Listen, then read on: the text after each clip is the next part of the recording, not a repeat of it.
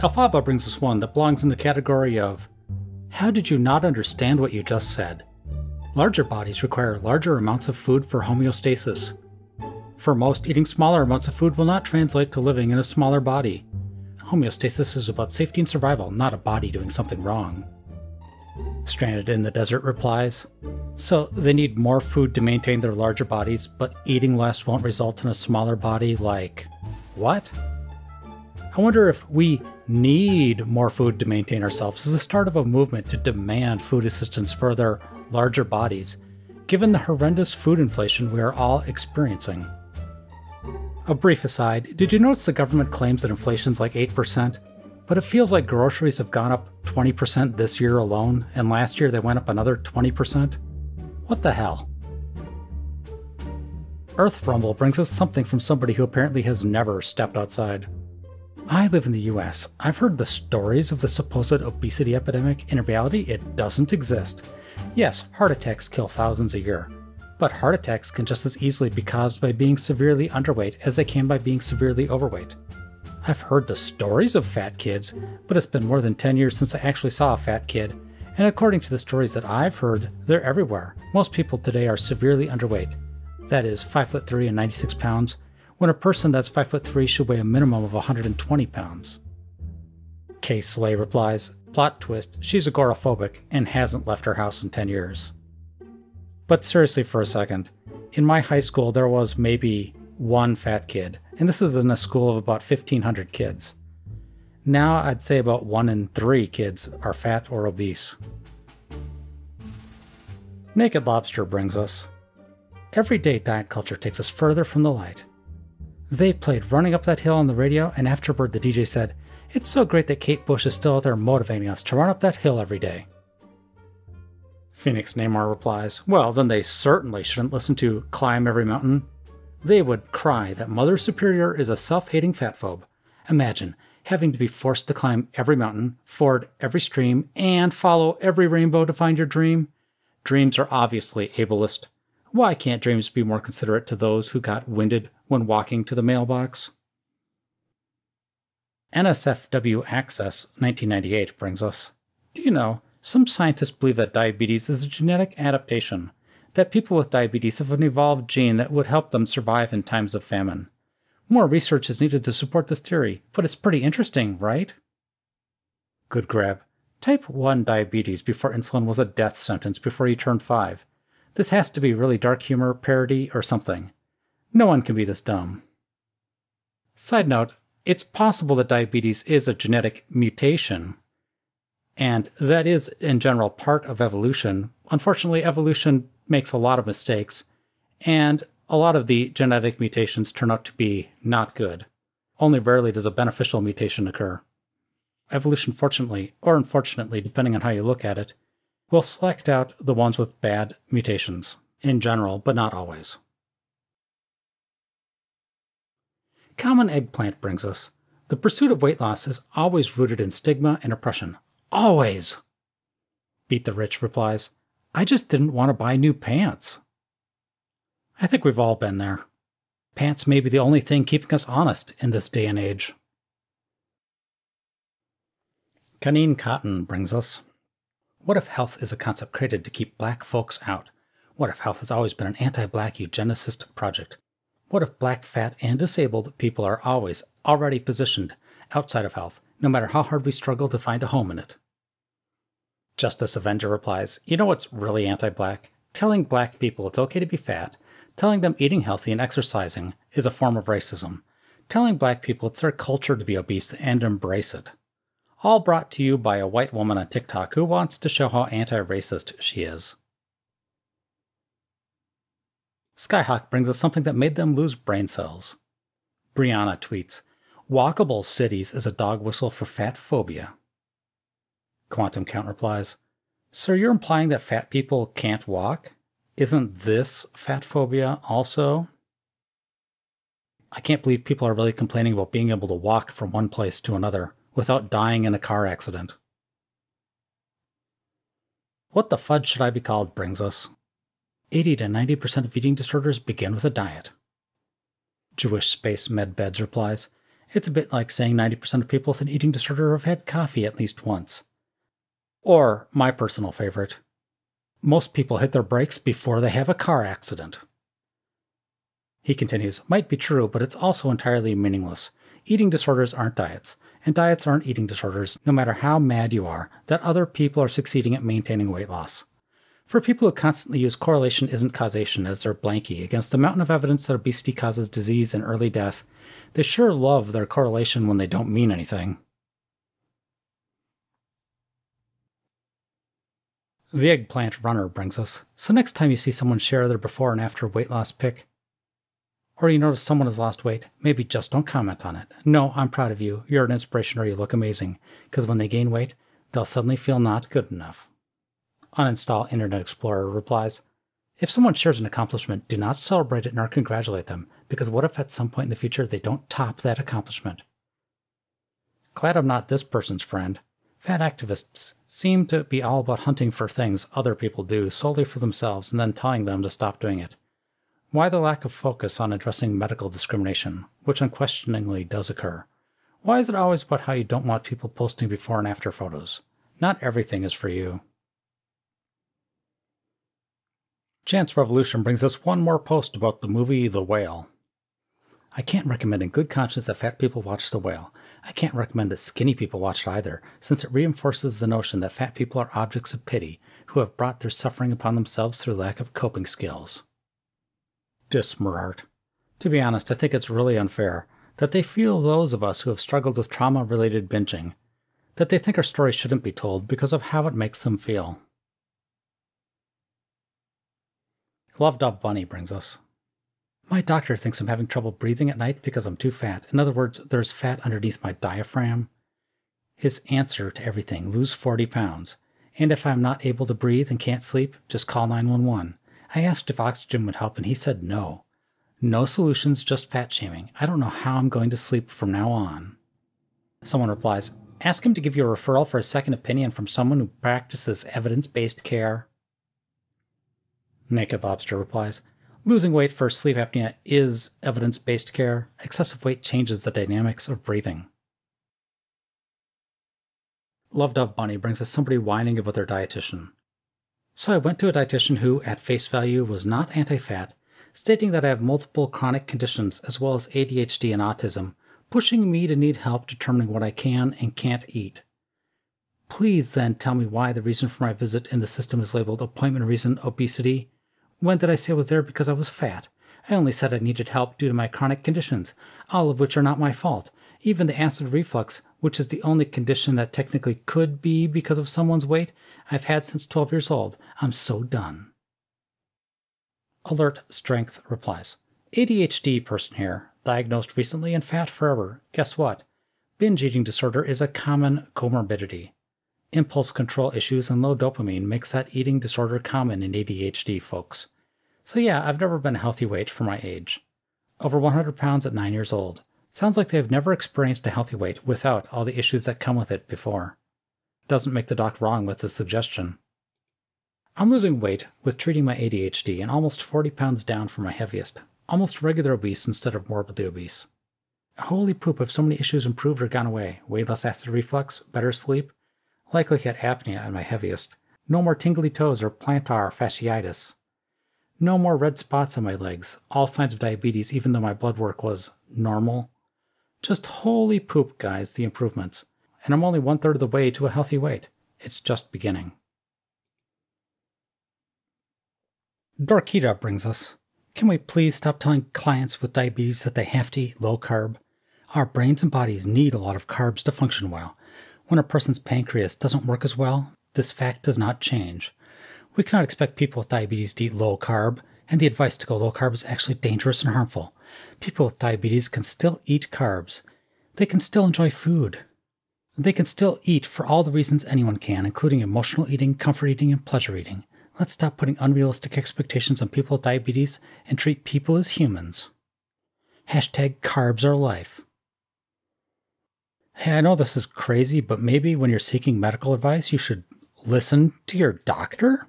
Nah, maybe not. Hori Puffleg replies Purely anecdotal, but my boyfriend was diagnosed with diabetes a couple of months after the shutdown started. He immediately changed his diet to basically being loads of fruits and vegetables and maybe some meat and cheese thrown in. He didn't do keto or paleo. In fact, he even ate potatoes once in a while. But he was low carb, especially compared to what he was eating before then. The best part was that led him to feeling better and to start riding his bike every day. Within six months, his doctors took him off whatever meds he was on, metformin maybe? And after a year, he stopped checking his blood sugar after every meal. Because he was medically compliant and changed his lifestyle, he got his diabetes to basically go into remission. He knows it can come back at any time, but he's doing his best to have the healthiest life he can, and I'm so frickin' proud of him. My point is that low carb saved him from a future with insulin and who knows what other complications. Side note, I don't think that's a low carb diet if he's eating lots of fruits and vegetables maybe moderate carb or kind of low carb, but not really low carb. Let's continue. These people willfully and knowingly push sick people deeper into delusions and into a deadly disease are reprehensible. Sarah Art brings us before trying to allow myself to eat what I want, but not too much. One scoop of chocolate ice cream. During creating an abundance mindset, there's no such thing as too much. A pint of Ben and Jerry's an entire chocolate bar, four cookies. After, I can eat what I want and trust my body to cue me when to stop. A scoop of ice cream, a half a chocolate bar, and a cookie. Seems like their after is eating a lot of sugar and carbs still, and very little protein. Grumpalina. People eating whole bags of Doritos just wouldn't be a thing if bodies can be trusted to cue people when to stop. Delete Bowser History adds, This exact thing. What's in the image, I mean, is what I was repeatedly told by therapists when I was seeking treatment for binge eating. I'm still in treatment, but I just smile and nod when this comes up. I'm tired of trying to explain that an abundance mindset is what encouraged my binging to begin with. I finally freed myself from an abusive, restrictive household and could buy whatever groceries and takeout I wanted, so I did. It went on like that for years. My during phase literally would have never stopped if I didn't make it stop. Please stop telling me. I just need to immerse myself in food and stock my house with my favorite snacks, and my body will cue me when to stop. Vodka Fairy brings us. Dear small fats, what straight sized people did to body positivity is what you are doing to larger fat bodies, excluding them even in their own spaces. Dancer Girl. Excluding them how? And in what spaces? Vodka Fairy brings us another one. Small fats are the only face of the fat community due to the proximity to thinness, because as much as the fat community wants to believe that things have progressed, the only thing that's changed is the scale, not the body standards, not the fat phobia. Akimzol replies, It's a really fascinating power structure. The small fats make up the majority and must constantly self flagellate. To the larger fats, if they're going to gain social capital. The mid fats are, I don't know, Fat Upper Middle Management, it's a vanity title. Superfats have a big voice and clout, but that also means that they have the most to lose in their social circle if they ever lost weight. Infinifats are a mysterious small cabal that I guess have veto power in arguments. Caddy Bob brings us. Someone tweets, they're telling you that it's objectively not unhealthy to be fat, and it's objectively not healthier to be thin, because that's just a fact. It matters what you do with your body, what you put in it, not what your body looks like. Someone replies, and yet the Venn diagram of people who eat too much of the wrong things and the people who are obese, morbidly obese, super morbidly obese is a perfect circle. For those of you who've seen my early videos, I swear this tweet is not me. I used to do a lot of Venn diagrams and had to swear them off. They continue. This person who definitely isn't me, I promise. I know it sounds more like me with every second that I say it's not me, but it's not. Health problems might contribute to an extra 10 to 20 pounds, not an extra 100 plus. Stop trying to justify an unhealthy habit. They add, if you like food, fine, I get it, I'm obese myself. But this crap comes across the same way as a heavy smoker trying to sell the health benefits of tobacco to strangers. Dean Venture brings us five things that are part of being a normal eater. The first one, eating past comfortable fullness. They think that's normal? Going back for more. You know, that'd be fine if it was healthy food, but they show a giant stack of pancakes with butter and syrup. If you've already eaten five pancakes, you've probably had enough. Not eating a vegetable all day. I'm sorry, that is just straight out unhealthy unless you've got a serious medical issue that prevents you from eating vegetables. Honoring a craving. It shows one slice of pizza. That seems fine. Nobody's going to die from one slice of pizza. Eating out of boredom. Let's not normalize that. Kid Vicious brings us. The only way to be truly non stigmatizing of fat people is to stop trying to eradicate us, creating spaces that accommodate fat bodies and weight neutral healthcare. These are anti stigma actions. Co opting the language of size acceptance in order to sell diets is not. Ugh, my name was taken replies. The irony of fat activists complaining about having their language co opted brings me a very odd sense of joy. Japanese ferret. The German language probably has a word for it. I think the English language has a phrase for it hoisted on your own petard. Dean Venture brings us. No one in the anti diet space is saying health doesn't matter. We're saying health is not a moral obligation, has nothing to do with a person's worthiness, and looks different for everyone. We're saying all humans deserve equitable and compassionate care. Saint Melangle replies, It's the equivalent of saying, I don't know anyone's sobriety or financial job stability. Well, sure, but that choice has an impact on your family. I think Chidi would disagree with this too. If you're not doing everything you can to take care of yourself, and yet you expect society to take care of you as hard as they can, you are not making a good moral choice. But I'm not Chidi, so I can't explain exactly which philosopher would support that theory. Auntie N brings us. The very act of intentionally trying to lose weight triggers your body's biology to fight you keeping it off. That part is true. When you try to diet, your body will go, hey, I'm hungry, stop doing that. That's why there's lots of diets and different tricks you can do to prevent getting hungry when you start to lower your calories. Your body wants to maintain homeostasis, status quo, and maintain a specific amount of fat to protect itself. This is your set point weight.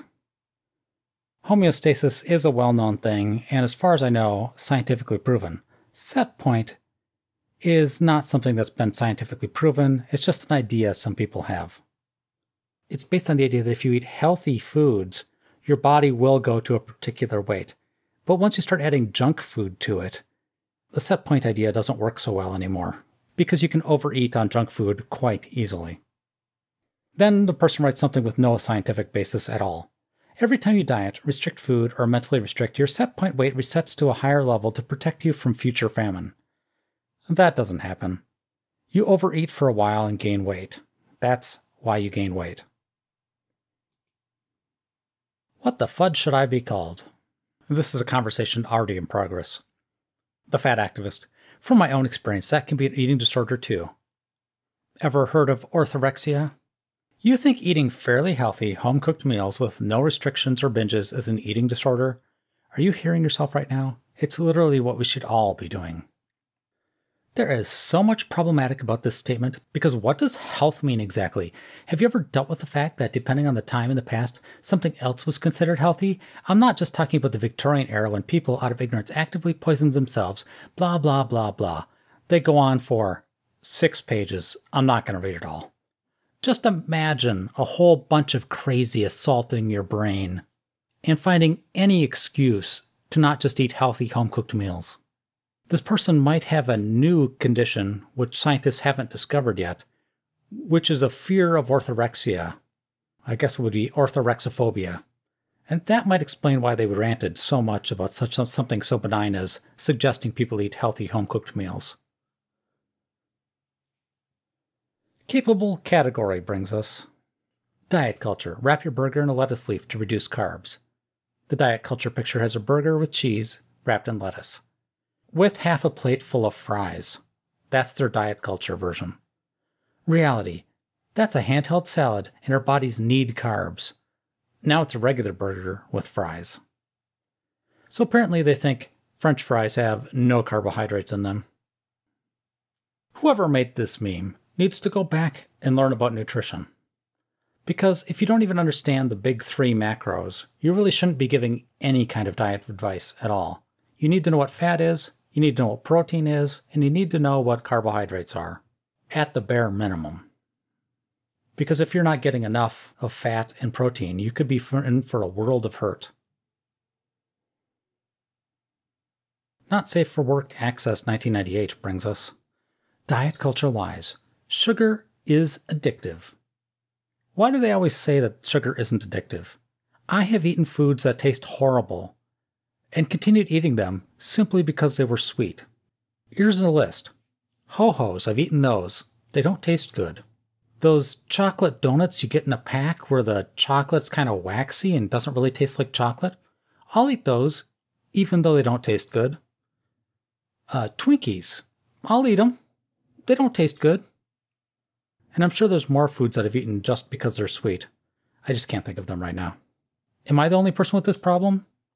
If you've ever had this problem of eating something disgusting just because it's sweet, let me know what it is in the comments. Next lie if you weigh less, you will be healthier.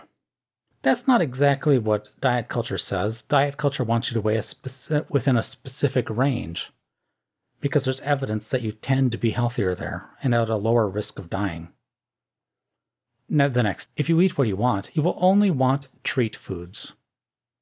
This is kind of true for me. I'd either be eating only Chipotle burritos or only donuts and cookies and things like that, and soda. It would be horrible. My teeth would be gone within two or three years. I would not be able to brush my teeth enough to keep up with all the junk I would be eating. And I'd also weigh roughly 400 to 500 pounds if I ate everything I wanted, because my brain does not get satisfied from that kind of food generally. Next lie. The more you exercise, the healthier you will be. For most people, this is true, but of course, you can go to extremes and start injuring yourself by exercising too much or getting too thin from exercising too much. And it's also true that there's diminishing returns. You get most of the productivity from exercise just from being able to run for one mile.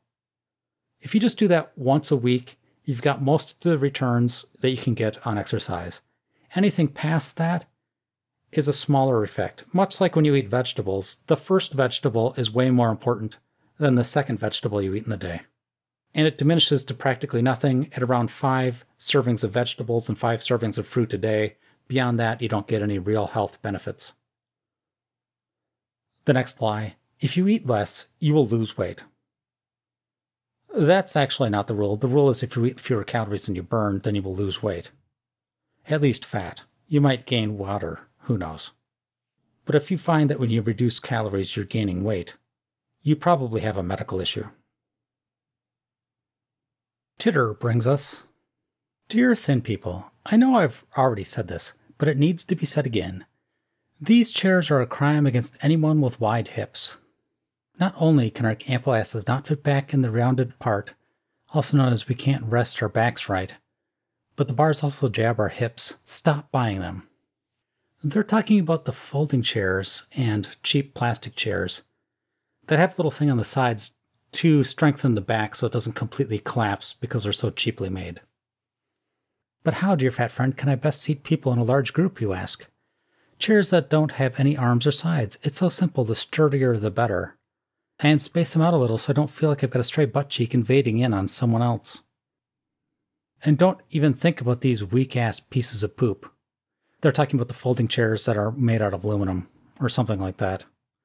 Their safe weight capacity is exceeded by like 30% of the adult population because 30% of the adult population is obese. Be an ally and think about this adventures. Cheaper is not always better. Thank you for your basic consideration of our humanity and dignity. They make a point, but they're ignoring the problems with it. First, stronger chairs cost more.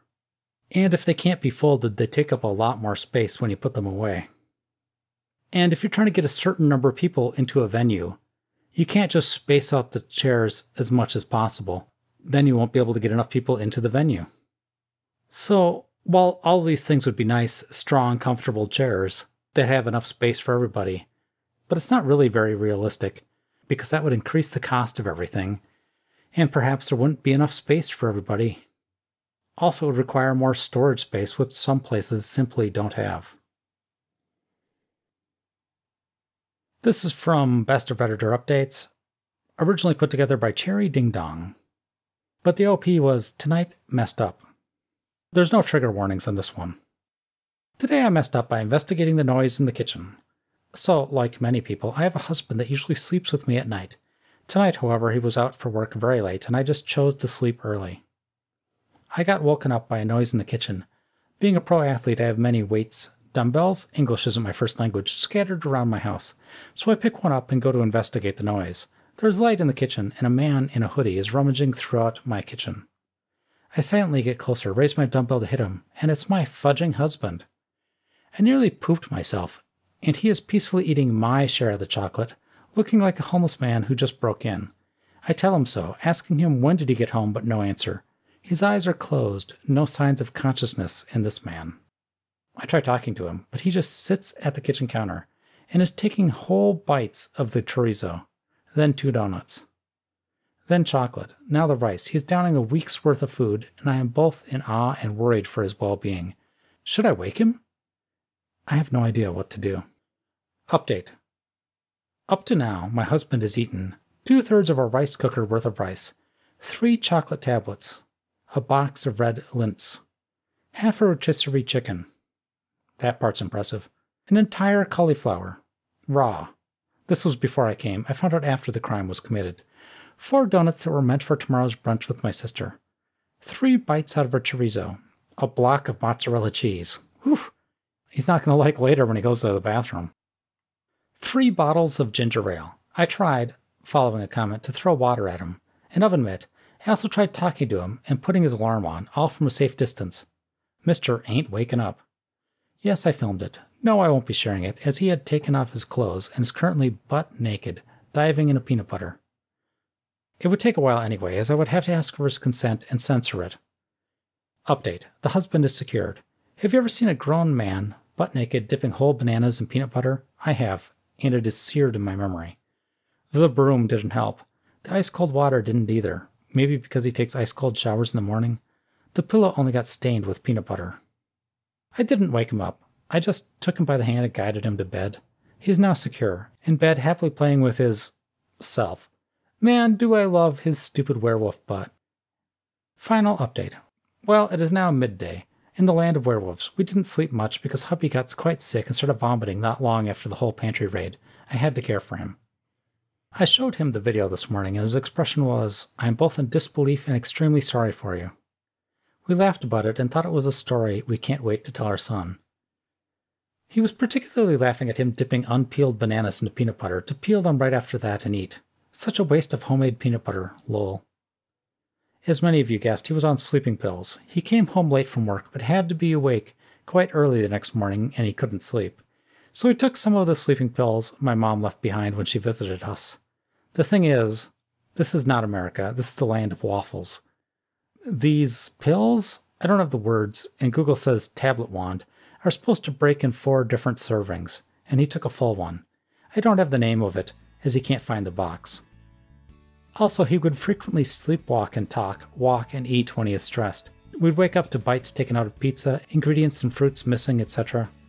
But this is the first time I've ever seen him do it, and I thought it was a burglar from the noise he was making. Question and answer Sleepwalking people don't have their eyes closed. When I first saw him, he was eating with his eyes closed. He'd open and close them at different intervals, most of the time closed when chewing, open when looking through the kitchen. That's a week's worth of food for you? No, week's worth of snacks, as we don't eat that much and have very healthy diets. Chocolate and donuts are pleasures we consume sporadically. Was he on a diet? Yes, he was, trying to get to the lower weight category because he had a match and was worried he'd be over 90, as he had nowhere near that strength.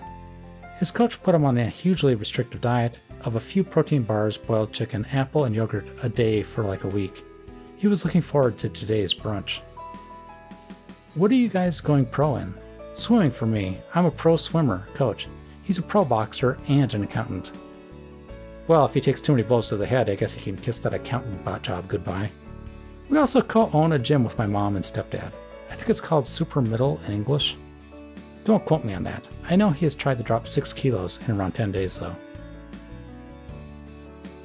Posted by West resident. Husband gets annoyed at me when I buy groceries because it's expensive. I recovered from chronic illness about one year ago, and I eat a clean diet because I'm sensitive to foods. It's expensive right now to buy things, so I partly understand his side. For eight months, I did all the grocery shopping by myself. He works less than me. But I work almost the same amount as him, and he's been doing some of the shopping to help.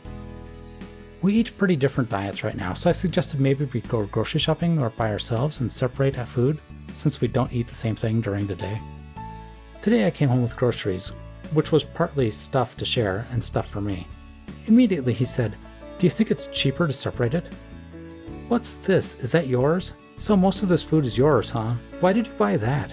Why didn't you buy this? All within five minutes of me walking in the door. I got defensive and immediately apologized and tried to hug him, and he ignored me and said he has no freedom to speak. I feel bad. I don't want him to feel like that, but I don't want to feel like I can't buy the food I need. We make more than enough money to eat healthy foods. I want him to have freedom to speak, but it's his voice, the tone, the loudness. I just hate communicating with him, and I've tried to tell him. He triggers me a lot. That's that's not a good sign for a relationship. The food is just the tip of the iceberg, it sounds like. Here's something from unpopular opinion that I happen to agree with. From Shut the Fudge Up Fanon. Watered down juice is tastier than full opacity juice. I wouldn't call it full opacity juice, but whatever. The full blast of sugar is overwhelming and nauseating. Adding a little bit of cold water and stirring makes juice way better. Yeah, about half strength is about best. Thank yous go out to Emmett McNally, Rig, Cupcake or Death, MMC, Story Story, MegTran2000, Cly, That One Guy, Laura Christine, Maria P, Average Loser, Wolfchild Rusk, and Just a Girl for being top level supporters. And all of my other supporters, thank you to you as well. If you like this video, please click like and subscribe. If you really liked it, consider becoming a member. And to all you wonderful people out there, have a wonderful day.